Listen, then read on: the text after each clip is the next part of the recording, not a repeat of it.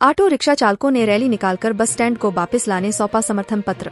सागर पुराने मुख्य bus stand को फिर से शुरू करने की मांग को लेकर जिला ऑटो रिक्शा यूनियन जिलाध्यक्ष पप्पू तिवारी के नेतृत्व में विशाल ऑटो रैली निकाली गई, जो तीन मढ़िया, परकोटा, गौरमूर्ति, कटरा मस्जिद, नमक मंडी से वापस प्राइवेट बस स्टैंड स्थित बस ऑपरेटर यूनियन द्वारा बस स्टैंड को बचाने चलाई जा रही हड़ताल स्थल पर पहुँची।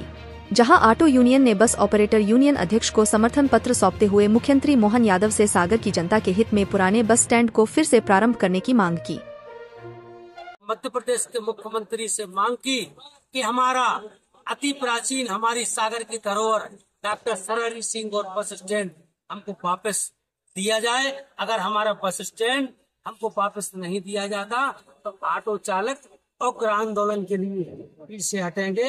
जय गौर, जय ऑटो यूनियन। प्रदेश और शहर की हर छोटी बड़ी अपडेट्स के लिए हमारे सोशल मीडिया हैंडल बुंदेली हलचल को फॉलो ज़रूर करें। धन्यवाद।